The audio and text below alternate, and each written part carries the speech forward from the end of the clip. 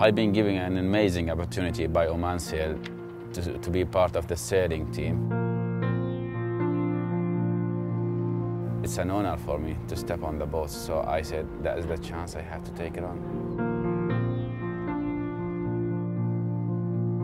Selected as a recruit to Oman Sail three years ago with no sailing experience, Khamis Al is now part of a Grand Prix sailing team. His rivals, Olympic medalists and world champions. And in 2010, he beat them all as the Wave Muscat won the Extreme Sailing Series. It's like, it's like a dream.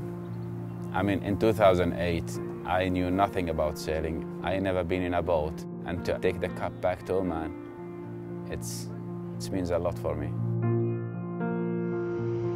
Since being selected by Oman Sail, Khamis has witnessed success throughout the programme. In 2009, Mohsin Al Busaidi became the first Arab to sail non-stop around the world. صعب جدا ان انا اوصفه احس اني بتشوق اني برجع له صعب صعب اني اروح بعيد عنه لازم اني تقريبا كل يومين ثلاث ايام لازم ارجع اشوف اطمن عليه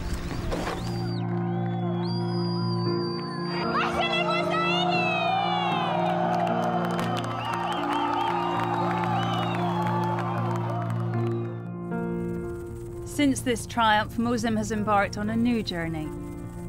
A journey that has seen him be part of Sidney Gavignet's shore crew for the solo transatlantic, the Route du Rhum.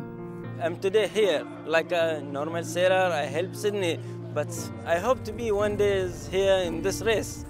But three days into the race, Gavignet was forced to make the call. He hoped he would never have to. Je suis plus ou moins à l'horizontale là maintenant. Et euh, ouais, pour ma famille, tout, je suis safe. Hein, je suis dans ma combi euh, Cotton. J'ai aucun bobo.